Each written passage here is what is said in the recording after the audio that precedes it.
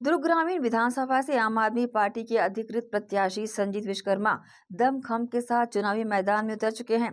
शुक्रवार को नामांकन भरने के बाद उन्होंने अपने विधानसभा क्षेत्र के विकास हेतु पहल करने का दावा करते हुए मतदाताओं से संपर्क करना प्रारंभ कर दिया है।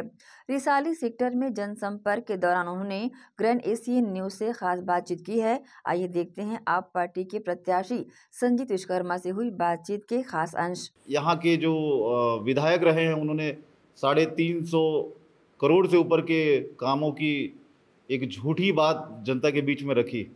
मैं ये स्वयं नहीं बोलता, जनता बोल रही है। सबसे बड़ा हथियार है, अगर किसी को हमको जीवन में एक मज़बूत बनाना है, उसे मजबूती से आगे ले जाना है। अगर व्यक्ति शिक्षित होगा तो निश्चित ही वो प्रश्न करेगा। और प्रश्न करने वाला व्यक्ति, चाहे वो विधायक हो, चाहे सामने खड़ा मुख्यमंत्री हो, चाहे प्रधानमंत्री क्यों ना हो, उससे अपना काम करवा लेगा।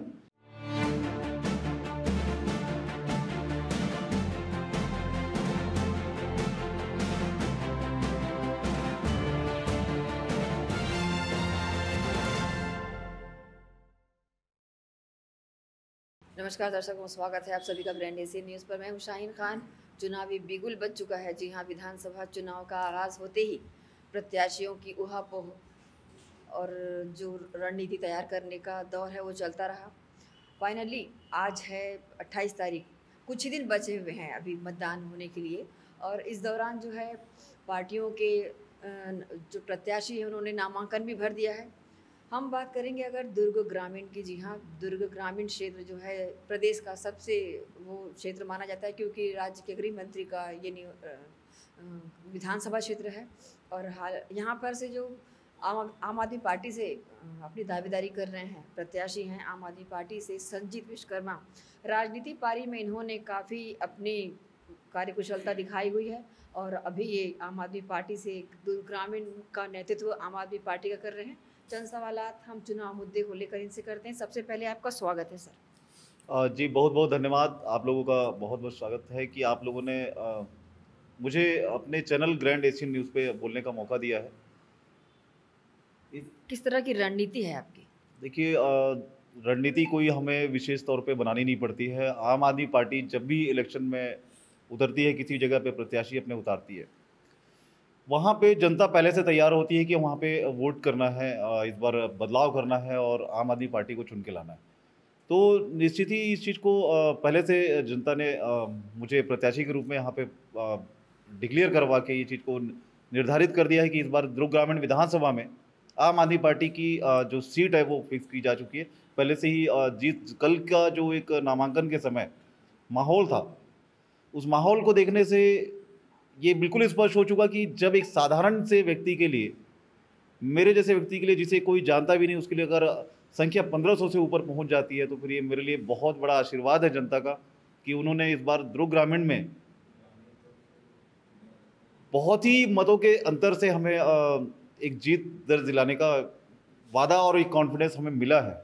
और इस बार जनता के इरादों पे, उनके वादों पे खड़े उतरेंगे। दुर्ग का जो ग्रामीण क्षेत्र है, काफ़ी उपेक्षाओं में रहा है। हाल ही में नगर निगम का गठन होने के बाद भी यहाँ पर तेरह में से चालीस वार्ड बने और विकास की दृष्टि से देखा जाए तो आपका क्या नज़रिया है? देखिए दुर्ग ग्रामीण विधानसभा में जैसा कि ग्रामीण इलाके भी हैं, एक नगर निगम है, एक नगर पंचायत का भी क्षेत्र है। रही बात की रिसाली नगर निगम हाल ही में अभी बना है, रिसाली नगर निगम क्षेत्र में चालीस वार्डों में जहाँ पे यहाँ के जो विधायक रहे हैं, उन्होंने साढ़े तीन सौ करोड़ से ऊपर के कामों की एक झूठी बात जनता के बीच में रखी। मैं ये स्वयं नहीं बोलता जनता बोल रही है कि जहाँ भी काम हुए हैं वहाँ पे लगातार भ्रष्टाचार हुए हैं। चार लाख के काम हुए हैं पंद्रह लाख का बिल पास हुआ है। जनता बहुत अच्छे से समझ चुकी है और यहाँ सिर्फ़ नगर निगम की बात नहीं पूरे ग्रामीण क्षेत्रों में आप जाइए तो गाँव की सड़कें गाँव की गलियाँ आज भी इस तरह से बदहाल हैं कि लोग मजबूरन कीचड़ मिट्टी धूल में चलने को अ, मजबूर हैं कि उन्हें उस रास्ते के अलावा दूसरा कोई विकल्प नहीं है उनके पास। इस बार जनता समझ चुकी है कि काम करना, जो यहाँ के स्थानीय विधायक थे, उनके बस की बात नहीं है और निश्चित इस बार उन्हें एक ऐसा चेहरा चाहिए, ऐसा एक विश्वास पात्र व्यक्ति चाहिए, जो कि उनके भरोसे पे, उनकी उम्मीदों पे खरा उतर सके। और जनता का जिस तरह प्यार मुझे मिल रहा है, एक आम मतदाता का जिस तरह प्यार मुझे मिल रहा है, ये सुनिश्चित है कि इस बार दुर्ग ग्रामीण विधानसभा में और कोई भी दल हो, चाहे कांग्रेस हो भाजपा हो, कोई भी अन्य दल हो, उनको बिल्कुल पूरी तरह से सफाया है। हम आपको बता दें कि अहंकार अगर अभी कांग्रेस भाजपा को होगा तो सुने, इस बात का सिर्फ़ अहंकार हो सकता है कि उनके पास पैसा हो। हमें इस बात का अहंकार है कि हमारे पास जनता का आशीर्वाद है और हमें ये, इसे अहंकार भी नहीं कहेंगे। ये हमारा एक मनोबल है कि जनता ने हमारा मनोबल बढ़ाया। तो वो पैसे का अहंकार तो क्षणिक मात्र होता है, जनता का आशीर्वाद निश्चित इस बार मिला हुआ है और इस बार आम आदमी पार्टी, दुर्ग ग्रामीण से जीत दर्ज कर रही है। मुद्दे क्या क्या रहेंगे? जैसा कि आपने बोला कि ग्रामीण क्षेत्रों में सड़क नाली और कीचड़ का माहौल रहा है आपके मुद्दे क्या क्या रहेंगे? ग्रामीणों की क्या मांग है जिन पर आप खरा उतरते हैं? देखिए ध्रुव ग्रामीण में ऐसे बहुत से कार्य हैं जो किए जाने थे नहीं हुए लोगों को सिर्फ़ वोट के नाम पे ठगा गया वोट लेने की नीयत से उन्हें प्रलोभन देकर वोट लिया गया। आपको बताना चाहता हूँ कि जनहित की बात जहाँ तक देखा जाए तो जिसमें सिर्फ़ और सिर्फ़ मात्र सड़कें ही नहीं होती, और सड़कों की भी वो स्थिति है कि सड़कों का भी जो निर्माण हुआ है, उसके भ्रष्टाचार कहीं ना कहीं उजागर होता हुआ नज़र आता है।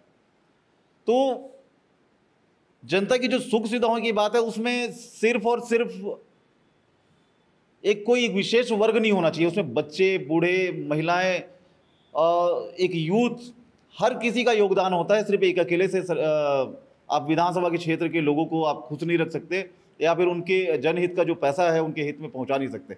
अगर आपको काम करना है जो काम अधूरे हैं निश्चित ही हमारी गारंटी पत्र जो एक तारीख को हम जारी करने वाले हैं ग्रामीण विधानसभा की उस गारंटी पत्र में वो सारी बातें शामिल होगी क्योंकि हमने जनता से सर्वे करके जनता के अनुसार जनता के चाहे अनुसार हमने गारंटी पत्र जारी किया है और वो निश्चित आपके सामने होगा।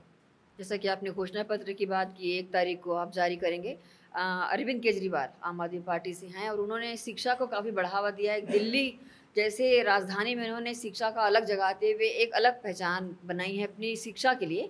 आप जो ये ग्रामीण क्षेत्र है, उपेक्षाओं से घिरा है शिक्षा के क्षेत्र में भी, आपके घोषणा पत्र में इसको कितना महत्व दिया जाएगा? देखिए केजरीवाल जी ने नौ गारंटियाँ पूरे प्रदेश भर के लिए पहले ही जारी की हुई हैं, जिसमें शिक्षा, स्वास्थ्य, बेरोजगार युवाओं के लिए रोज़गार की व्यवस्था बुज़ुर्गों के लिए और उन एक तीर्थ यात्रा की व्यवस्था इस प्रकार की नौ गारंटियाँ हैं जिसमें कि शहीदों के सम्मान से लेकर अन्य ढेर सारी बातें जिसमें छत्तीसगढ़ के भ्रष्टाचार मुक्त होने की भी गारंटी आम आदमी पार्टी ने दी है। इन सारी चीज़ों को करने के पीछे जो सबसे मुख्य हमारा एक फोकस होता है, वो शिक्षा सबसे बड़ा सबसे बड़ा हथियार है अगर किसी को हमको जीवन में एक मज़बूत बनाना है, उसे मजबूती से आगे ले जाना है। अगर व्यक्ति शिक्षित होगा तो निश्चित ही वो प्रश्न करेगा। और प्रश्न करने वाला व्यक्ति चाहे वो विधायक हो, चाहे सामने खड़ा मुख्यमंत्री हो, चाहे प्रधानमंत्री क्यों ना हो, उससे अपना काम करवा लेगा। तो हमारा फोकस बेसिकली शिक्षा पे होता है, समान शिक्षा देने का हमारा एक, जो वादा है, जो गारंटी है, उसे धरातल पर उतारेंगे, हम दे के दिखाएँगे। दिल्ली में आप देखिए, अभी हाल में ही एक डेढ़ महीना पहले बत्तीस छात्रों का शासकीय स्कूल से एनडीए में सिलेक्शन होता है। उसी के तर्ज पे देखा जाए, छत्तीसगढ़ में आत्मानंद स्कूल बनाया गया, लेकिन गरीबों के बच्चों को उसे मौका नहीं मिला। पीएससी का सिलेक्शन हुआ जिसमें सबसे बड़ा भ्रष्टाचार, सबसे बड़ा उजागर होकर जो सामने आया कि एक भी गरीब परिवार का बच्चा पीएससी में सिलेक्ट होकर नहीं आया, जिन्होंने कई कई सालों से तैयारियाँ की थी, तैयारी करके बैठे हुए थे, वो बच्चे सारे कहीं ना कहीं उस अधिकार से वंचित रह गए। पीएससी में उनको नियुक्ति नहीं मिली, उन्हें कहा भर्ती होने का मौका नहीं मिला। उसमें क्या, अगर पीएससी में भर्ती होना है तो हर किसी को विधायक बनना पड़ेगा। हर किसी को बड़ा पदाधिकारी बनना पड़ेगा तब पीएससी में सिलेक्शन होगा। ऐसा नहीं है। आम आदमी पार्टी इन्हीं चीज़ों को दूर करने के लिए सभी को एक समान शिक्षा देने की गारंटी दी और ये बिल्कुल दुर्ग ग्रामीण विधानसभा में ये ज़िम्मेदारी मुझे मिली है ये मैं बिल्कुल करके रहूँगा इस। आपका सामना दुर्ग ग्रामीण क्षेत्र में एक ऐसे कद्दावार शख्सियत से है जो कि राज्य के गृह मंत्री भी हैं। कैसा बताते हैं इसको? कितना चुनौती मानते हैं? देखिए गृह मंत्री वो अभी है नहीं वर्तमान में। अभी वो एक प्रत्याशी हैं जैसा कि मैं हूँ। और रही बात कि वो अगर चुनौती मेरे सामने पेश करेंगे तो सिर्फ़ और सिर्फ़ जनता के लूटे हुए पैसों से पेश कर सकते हैं। ये जग ज़ाहिर है, लोग जानते हैं। और अब ये लोग बोलेंगे कि भैया आप उनके ऊपर आरोप नहीं लगा सकते, आरोप लगाने के लिए हमारे पास सबूत है। बिना सबूत के हम कोई बात नहीं करते।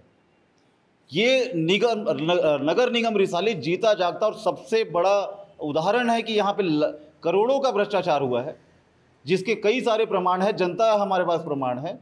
आपको बताना चाहता हूँ कि मेरे सामने एक प्रत्याशी से बड़ी उनकी कोई हैसियत नहीं है मैं उनको प्रत्याशी समझता हूँ जैसे कि एक आम कोई अन्य भी दल का निर्दलीय भी खड़ा होता है उसे भी उसी नज़र से मैं देखूँगा वो सिर्फ़ एकमात्र प्रत्याशी है मेरे लिए और कोई गृह मंत्री रहे होंगे जब आगे कोई होगा वो गृह मंत्री होगा। क्या अपील करना चाहेंगे जनता से? मैं जनता से यही अपील करना चाहता हूँ कि इस बार आप अपने दुर्ग ग्रामीण विधानसभा के लिए ऐसा नेता चुने जो आपके दुख सुख में 24 घंटे आपके साथ खड़ा हो सके आपके दुख तकलीफ़ को समझ सके, आपकी भावनाओं को जान सके।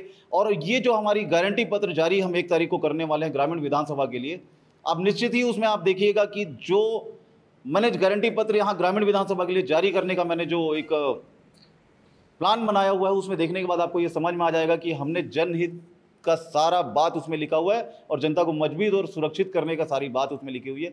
इसलिए मैं चाहता हूँ कि एक मौका ज़रूर आप दीजिए मुझे, आपके बीच काम करने का इस तरह से काम करने का कि अगर आप मुझे तनख्वाह दे रहे हैं तो ना कि मैं आपका नेता, एक सेवक बनकर, एक नौकर बनकर आपका काम करके दिखाऊँ। जी, धन्यवाद। आपका बहुत बहुत धन्यवाद।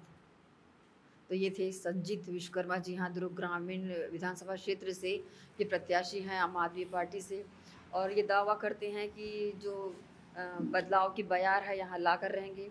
और लाखों का जो भ्रष्टाचार और लाख, अनदेखी का इन्होंने आरोप लगाया है और उसका पटाक्षेप बिक गया है तो देखना होगा कि आने वाले दिनों में, इन पंद्रह दिनों में क्या समीकरण बैठता है, जनता की क्या राय होती है, जनता का झुकाव किस होता है। आप बने रहिए हमारे साथ और देखते रहिए ग्रैंड एसी